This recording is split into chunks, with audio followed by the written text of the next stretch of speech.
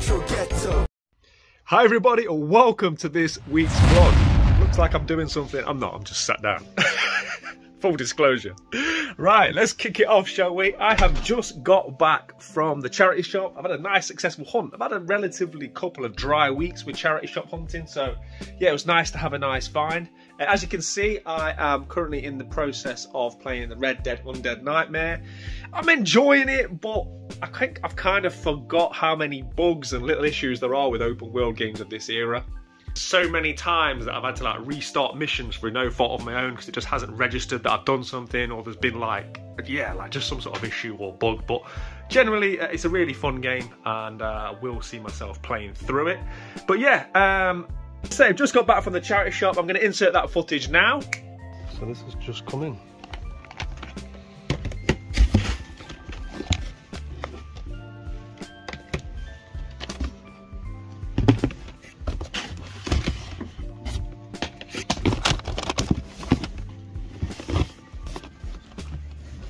And here is the fruits of my labour. So these are all the games I picked up at the charity shop. Tomb Raider. Um, there was a couple of other PS1 games, but uh, I just decided to pick that one up. It's four pound trading, and then a load of DS games. Uh, Nintendogs trades in for five pounds, so it's nice. There was a couple of versions of these. Um, I think the best return was Cooking Mama. I think the six pound trading on that. Sonic's got five pound trading. I think this Tamagotchi game maybe has got four pound. I think what I did was I picked up I think three of these games, um, one pound ninety five each, and she said, "Do you not want any more?" And I said, "To be honest, it's not worth me picking them up because they're not worth um, me doing so. Because a lot of these kind of trade in for like one pound fifty or two pounds. There's no point me buying them for one pound ninety five, right?" And she kind of just said to me, "Oh, do you want the rest of fifty p each?" So I ended up paying a total of eleven pound uh, for all of these and there's 36 pounds 60 pence in trade credit here so that's a decent return um, i'm going down to cex tomorrow so yeah we'll be cashing them in and cex actually sell all of these for 81 pounds so yeah quite the markup from 11 uh, i'll be heading to cex tomorrow as i say and i'll be taking the little um, few games that i found on last week's vlog as well so we should get a half decent credit note for that um, as always my credit notes are already uh, spoken for. We've already got loads of plans. Have had a few box only games recently, um, and if you guys watched Wednesday's video, you will know. So I'm looking to get a few carts uh, added to my collection. So these vouchers are going to help with that no end. Uh, there's loads planned for this week's vlog. There could even be as many as three uh, charity shop hunts, uh, plus loads more stuff. We'll get into that another day. I'm going to uh, enjoy my time in the Red Dead Undead Nightmare. I'll catch you soon. Okay, so I am on my way to my weekly CEX and local charity shop hunt. I've got my big bag full of goodies to take into CEX. It should give me quite a nice voucher with which I can order something and hopefully that'll arrive this week. I have actually got a couple of unboxings that we'll be looking at today when I get back from this hunt, so stay tuned for that. But yeah, I'm sat in traffic right now, hence why I'm filming in my car. As always, if I see anything in the charity shops worth showing, if I find anything at CEX, I'll obviously record it, but yeah, let's see what we can find.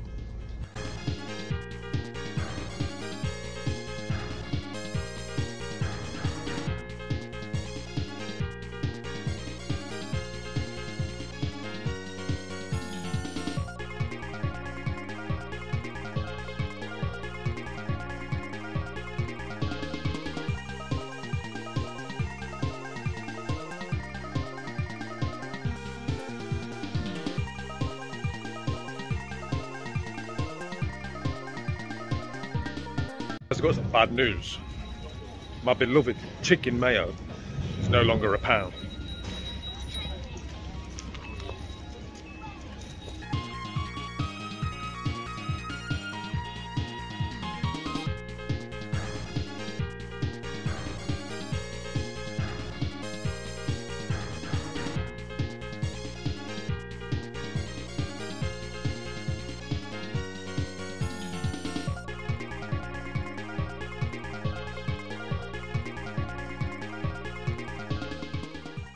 Okay, so I'm just outside OLED phones. Uh, I was told this is the place to go to get my PS4 fixed. If you guys remember, Gibbo from Gib84 very kindly sent me that white PS4 Pro to go in my Kallax unit.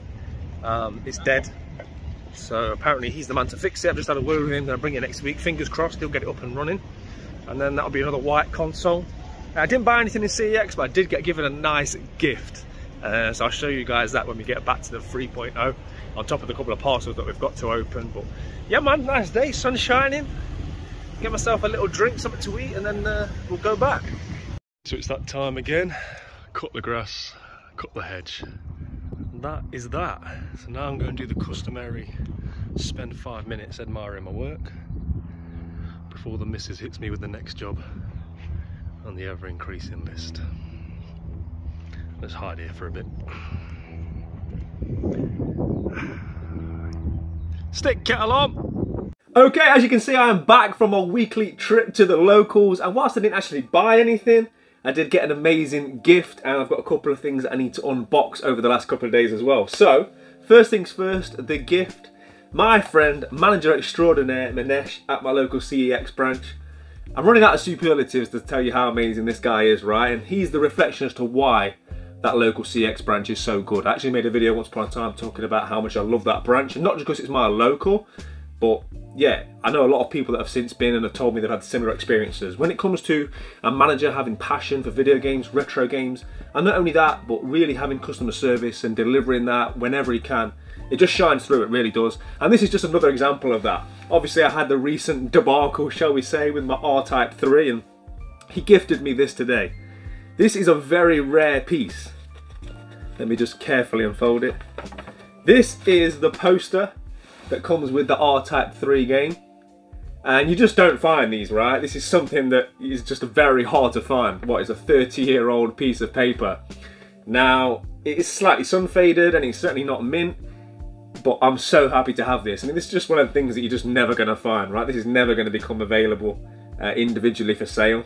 Uh, you will probably find one in like an ultra complete version of the game if you want to spend, you know, £300 plus. But yeah, what a great guy. He actually took this off his wall. He had this on his wall and he took this off to gift it to me. And yeah, just speaks volumes about the man. So Manesh, as always, can't thank you enough, my friend. Um, yeah, really, really happy to add that. And that, you know, it sort of sums up really what's happened with that game. Um, it started off quite low, as you'll know if you've watched the story and watched the video as to how CEX sent it me, but how they've since dealt with it and how um, I've received that today, it's really turned a negative into a positive, and that's kind of what this hobby's all about, right? And collectors looking after each other, and yeah, it's a beautiful thing. So we're going to move on now to uh, a pickup that I've had. This is a random one, right? Uh, I was recently in a CEX and I'd never even heard of this game. I'd never seen it before. And it caught my eye and I looked at it and you know what? When I was looking at the pictures on the back of the box, it reminded me of a link to the past. And I thought, I've never heard of this game before. But it really does look like that in terms of the visuals.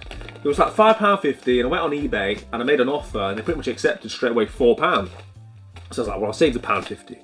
Um, so yeah, let's get into it, shall we? And that is Adventure Time Secret of the Nameless Kingdom. This is a 2014 top-down adventure puzzle game developed by WayForward Technologies. Um, this game was once upon a time taken off the Xbox store, but it is backwards compatible, so you can play it via the Xbox One. I think it is now available again on those Xbox stores, and uh, as you'll be seeing on screen now, the visuals and the way in which this game plays are so much like A Link to the Past. And went and had a quick look at this game um, prior to opening this so I could tell you guys a bit about it, it actually referenced its similarities to that game. Now for me, A Link to the Past is my favourite game ever made, and I've never heard of this game, right? So I'm certainly not expecting it to be anywhere near that level, but it just sort of intrigued me, and for £4 I definitely wanted to pick it up. Uh, it's complete as you can see, so yeah, I'll be trying this one out really soon, and I'll uh, give you guys my thoughts on it, but yeah, just strange that uh, a game that reminds me so much of my favourite game ever was one that I've never heard of. Let me know in the comments if you played this game and if it's worth me putting much time into. Okay, and now we've got a CEX lottery. It is a lottery, but it isn't a lottery. It's one of them. I'll be honest with you, it's a cartridge. It's not like opening Nintendo cardboard, right? I mean, I was going to say how wrong can CEX get it, but that's a dangerous game to play, right? Um, it might not even be the right game. Let's see what's in here, shall we?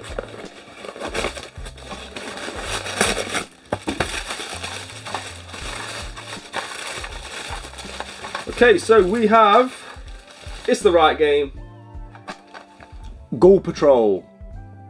So I'm not going to go into this game too much because if you watched Wednesday's video, which you have, you haven't, I implore you to do so. I sort of went into detail looking at this game and a couple of other games that I've added to my collection recently that I've bought box only. Um, and then I sort of explained as to how I save a lot of money collecting by then piecing together those and adding cartridges and manuals, etc. down the road.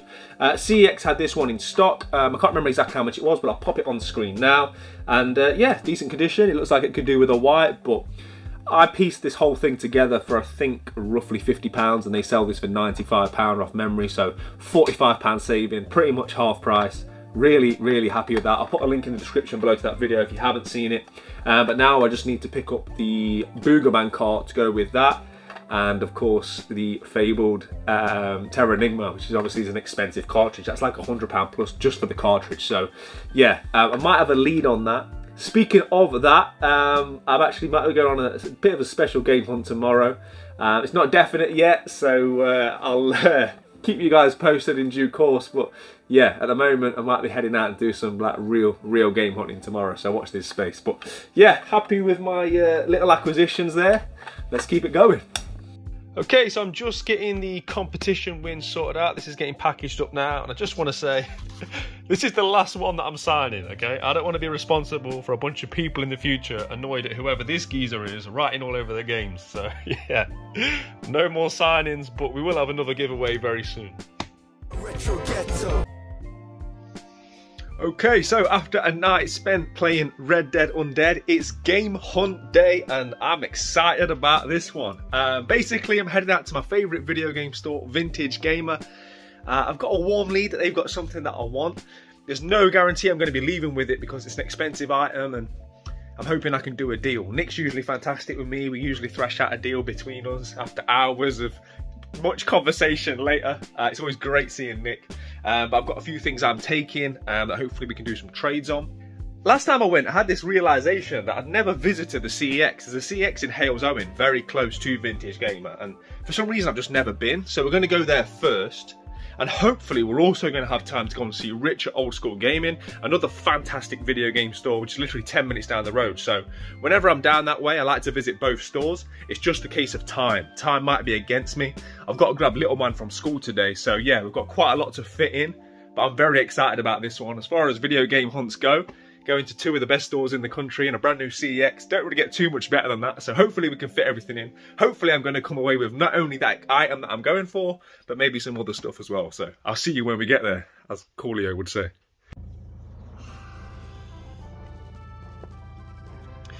Fifteen minutes into the journey, and I realised I forgot my wallet.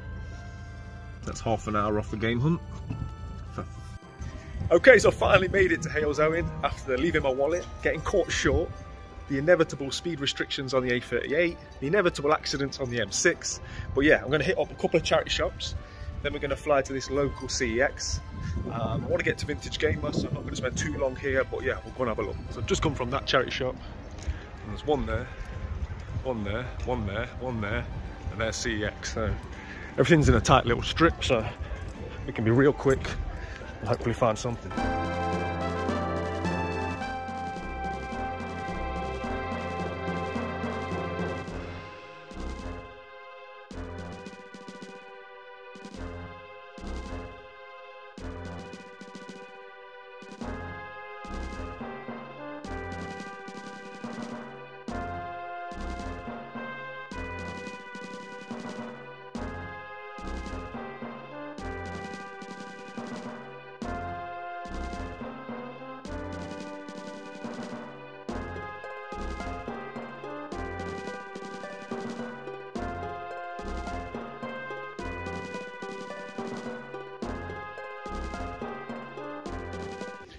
Okay, so I'm empty-handed coming out of Halesowen, which is no surprise when you've got um, as many great video game stores as I've got around here.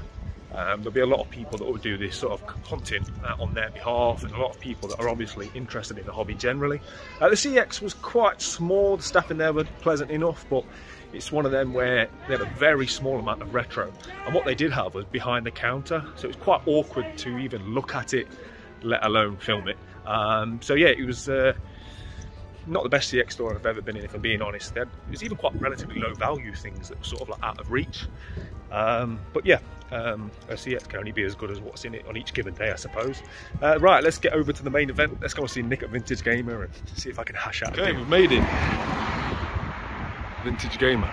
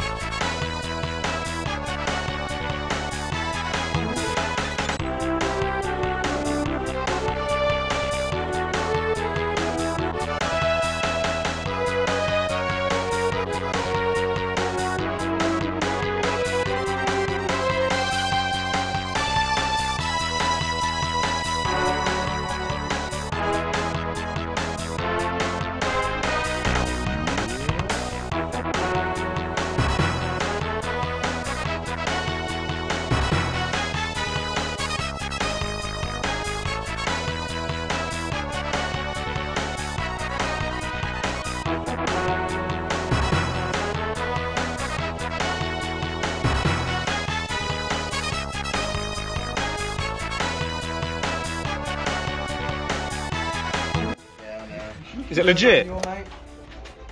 Yeah, but you shouldn't just have it sat on the floor by the door, Nick. Like, It it's, like because- it's flipping FIFA 5. Do you know what I mean? So-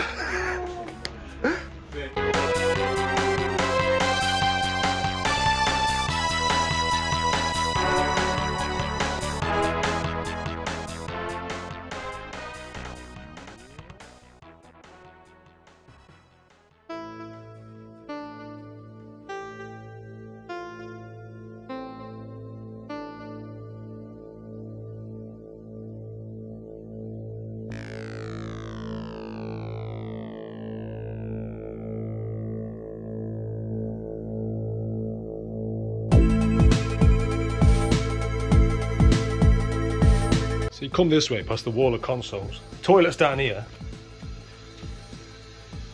I mean, look at this. Every room you pop in, it's just stacked, full. And this is why I love this shop.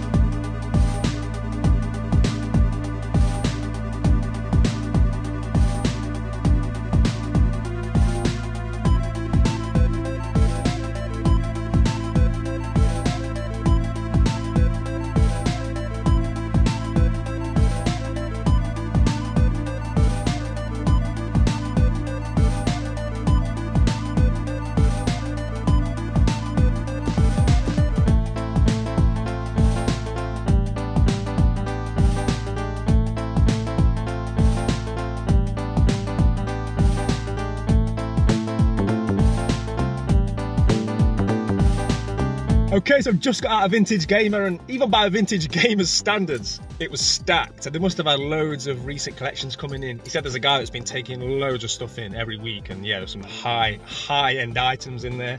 I timed it right in terms of the amount of stock. Didn't time it right in terms of how busy they were. I got here like 10 minutes after it opened, and I was about third or fourth in the queue, and yeah, but always a great time, always fantastic seeing Nick. I've got some really nice bits as well as what I came for, right? I managed to get a great deal. Traded some bits here I'll tell you guys everything uh, when we get back. I think I should have enough time to get to old school gaming as well, so yeah. Today's proving to be an epic hunt. Let's go there now. What a beautiful day. The sun is shining. I'm on my way to a second fantastic retro video game store. Life's good right now. Got a bag full of stuff in the car that I'm looking forward to showing you guys. And yeah, man, the hunt's not over yet. Let's see what else we can find.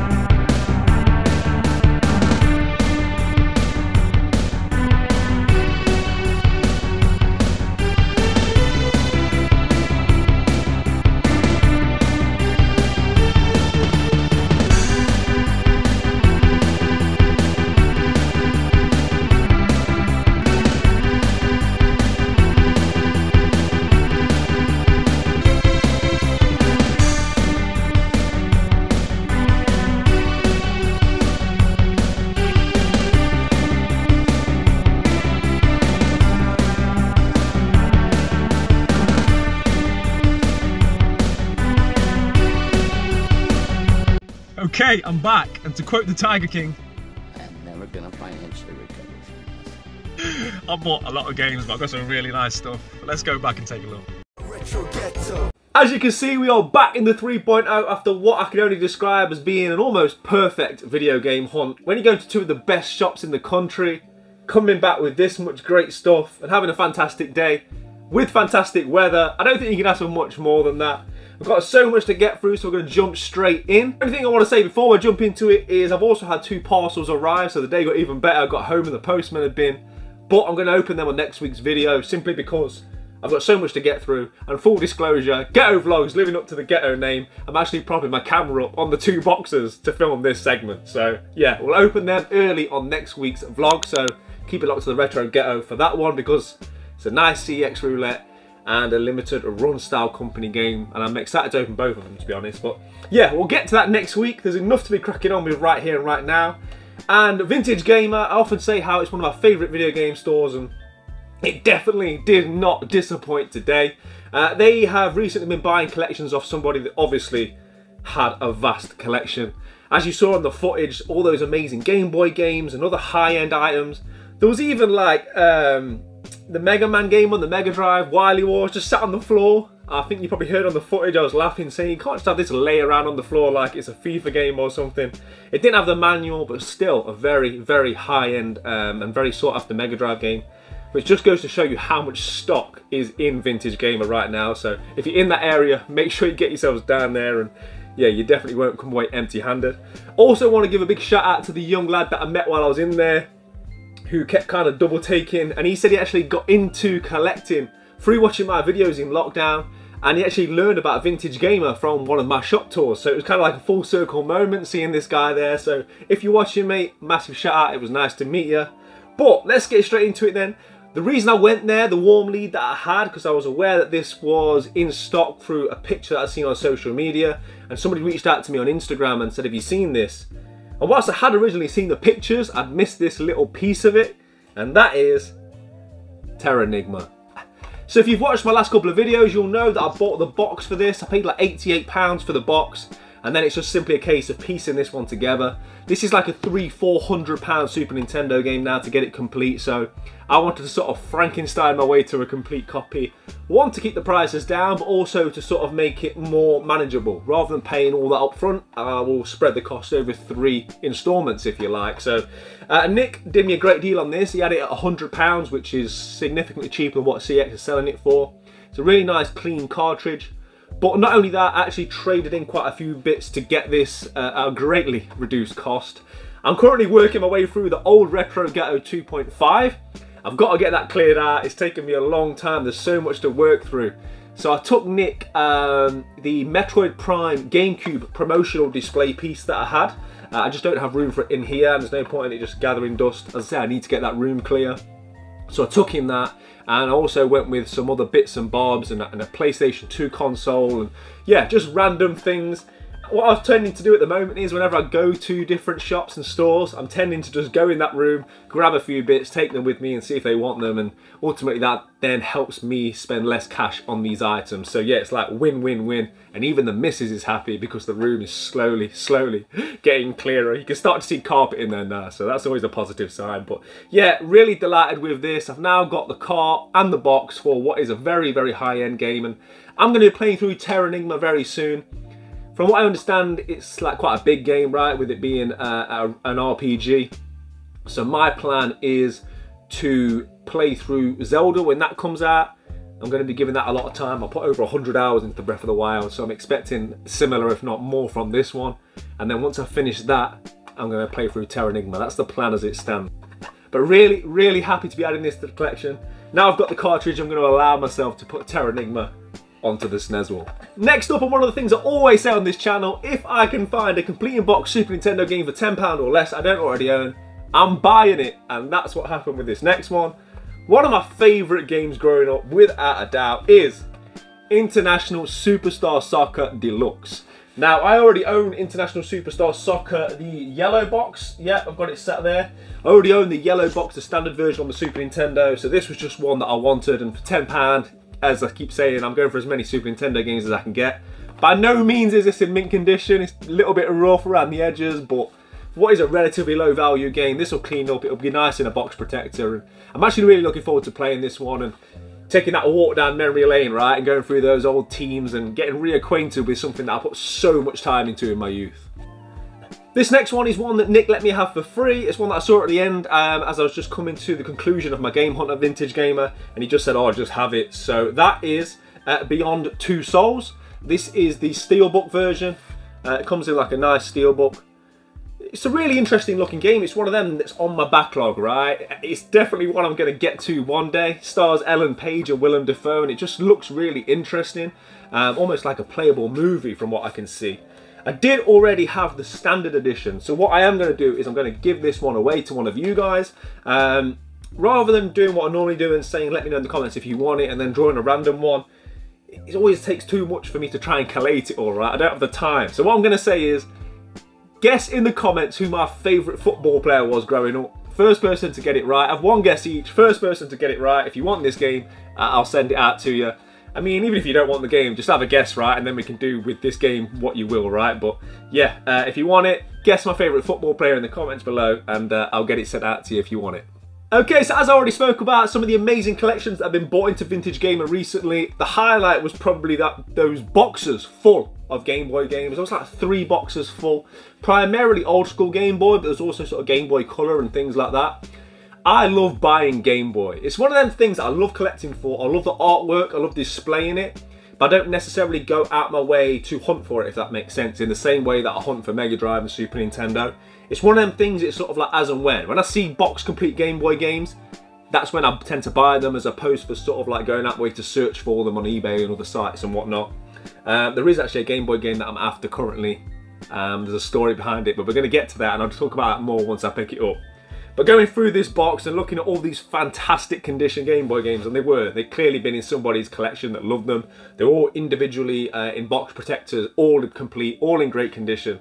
I knew I had to leave with one, but I don't really know the Game Boy market. So I'm sort of going through all these games, picking them up, talking to Nick, and Nick was like, just shaking his head because he knows that I don't want to be spending large amounts of money on a game, right? So he's like, I'll just put it back. You know, pick up another one. He'd be like.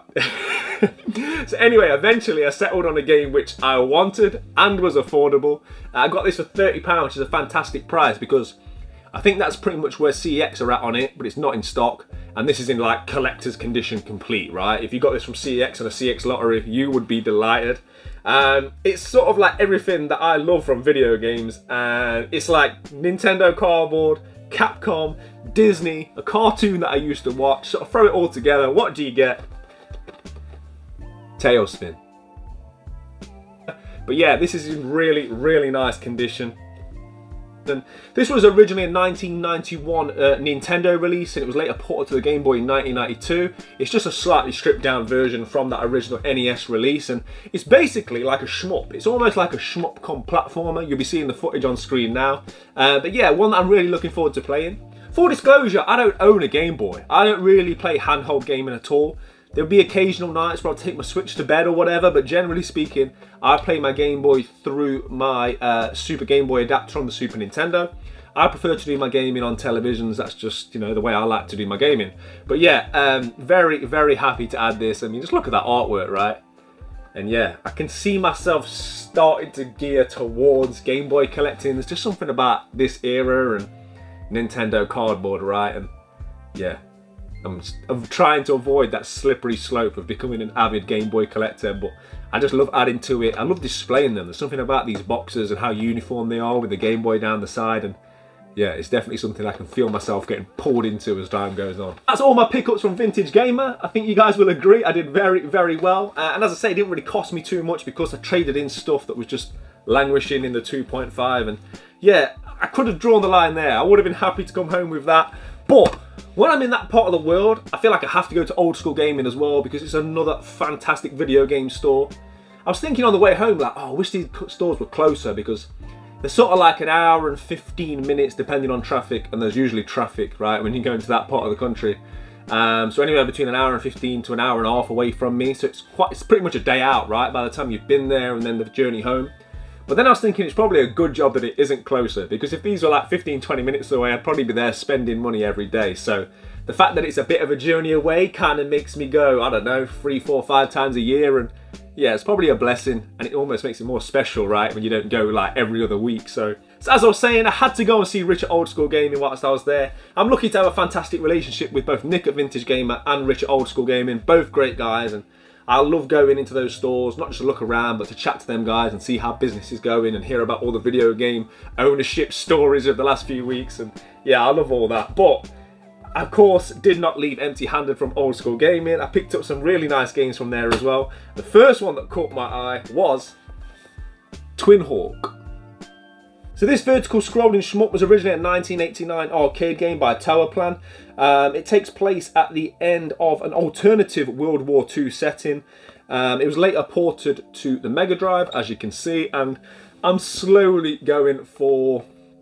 I was going to say all the shmups on the Mega Drive, like a subset, but the reality is I'm going for all the shmups on both the Mega Drive and the Super Nintendo. The way it's going, that's kind of the way I'm heading. I'm not actively looking for it, but equally I enjoy playing the games, I enjoy collecting for them, so I'm inevitably getting to that point sooner or later where there won't be many left that I need, and then I probably will start actively trying to find those games that I need to complete those subsets. I think 16-bit era and a 16-bit era of shmups in particular, it's like a very specific genre, and I really enjoy it, so yeah, this is just another one to add to the list. I don't know if it's a vintage game, but Rich did me an absolutely fantastic price on this. He sold me this for almost half what CEX selling me for.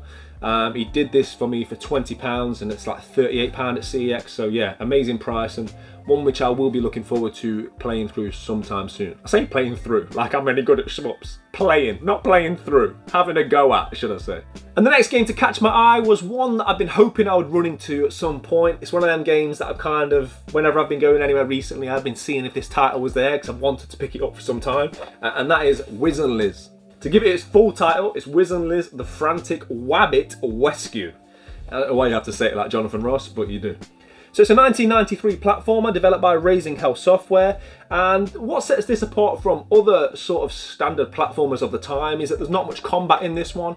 I think maybe uh, a couple of bosses but otherwise it's more of a sort of a collectathon. I think it's more of a timed game from what I understand. I've never played it but I think you sort of have to collect a certain amount of things within a certain amount of time, and that's where the challenge comes in this game, as opposed to the sort of standard uh, combat of enemies that you have to kill throughout. One that I'm really excited to play. I love my 90s uh, platformers of this era. I mean, it's a good job, right? Because there's a lot of them on the systems that I like to collect for. Just one that I was hoping to pick up when I saw it, and for £10, I was definitely not going to leave it there. Right, so next up, what do you get if you cross everything that I love? I'm talking video games, I'm talking 90s, I'm talking 16-bit, I'm talking cartoons, I'm talking toys, and you put it all into one package, you get this. Mighty Max. So the Adventures of Mighty Max was developed by the British studio WJS Design and published by Ocean as a 1994 side-scrolling platformer. This is actually based on the cartoon, The Adventures of Mighty Max, but for me, my nostalgia doesn't come from the cartoons.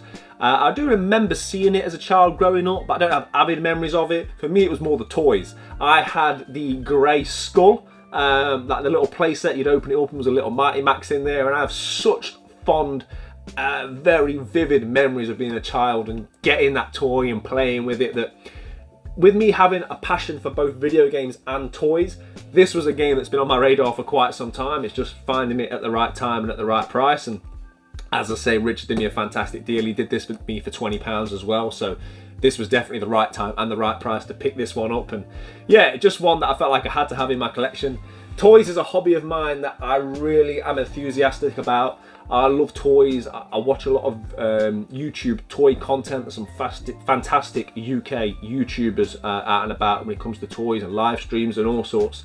I just don't have the room to display them, so I only dip my toes in, right? I, I find it difficult to display toys. They're not as clean and as sort of like um, neat uh, in terms of their aesthetic as video games are, which you can line up and alphabetical order. And uh, yeah, I just find it a lot easier to display and create video games than I do toys. I feel like if you have too many, it can become messy.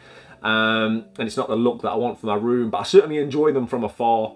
I'm tending to learn now, I'm in my mid 30s, that you can't collect everything that you enjoy, right? I, I finally learned that. Um, but yeah, this kind of goes away to scratching that itch for me, and it's brought back real memories of me and playing with that Mighty Max figure. So it's just one I've been intrigued by. Uh, standard 90s platformer. Things about 90s platformers, whether they're the best ones or the worst ones, I just always think there's an element of them that I enjoy. It just takes me back to that more innocent time, and I'm looking forward to playing this one. So yeah, in many ways, as I say, the perfect video game hunt. I mean, I did not expect to come away with all this. I was hoping to come away with this. Everything else is just an absolute bonus. And I want to give a massive shout out to both Nick and Rich at their respective video game stores. Two fantastic people with two fantastic shops. And if you're ever in the Brierley Hill or the Halesowen area of Greater Birmingham, make sure you go and check them out because well, you've seen the footage, you don't need me to sell it. Just go and have a look and you would definitely not believe in empty-handed. Guys, that's going to do it for me for this week. There's so much to be cracking on with on next week's vlog. It's almost overwhelming. I've got piles and piles of games behind this sofa that I need to go through, clean, get put away. I've got loads of jobs I'm going to be tackling in the games room. I've been neglecting um, the, the, games room since I sorted my Kallax unit out, right? That kind of put me off for a couple of weeks, but now it's time to scratch that itch again, get back into working on this room to making it perfect. And yeah there's definitely a few jobs that I want to be getting on with. So as always a massive thank you to everybody that's taken the time to watch these vlogs and especially ones that take the time to watch this long. Make sure you have your guess in the comments as to what my favorite footballer was growing up and you can win yourself a copy of that game. But as always play your games keep it retro. I'll see you all on the next one. Take care. Retro Ghetto